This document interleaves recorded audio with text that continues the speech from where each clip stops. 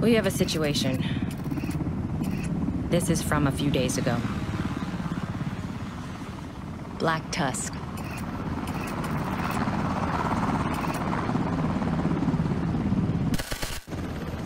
We're coming up on the building. The marker is our agent. We lost contact with her shortly after this. Can we take a look at the surveillance footage she transmitted? Let me switch over. What are they after? At a guess? The DARPA labs and the sublevels. There are all kinds of Defense Department prototypes down there. This can only be bad news. The question is, how bad? We need to know. Which is where you come in, Agent.